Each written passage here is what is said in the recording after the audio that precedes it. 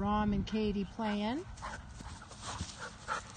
And he can move it out when he wants to.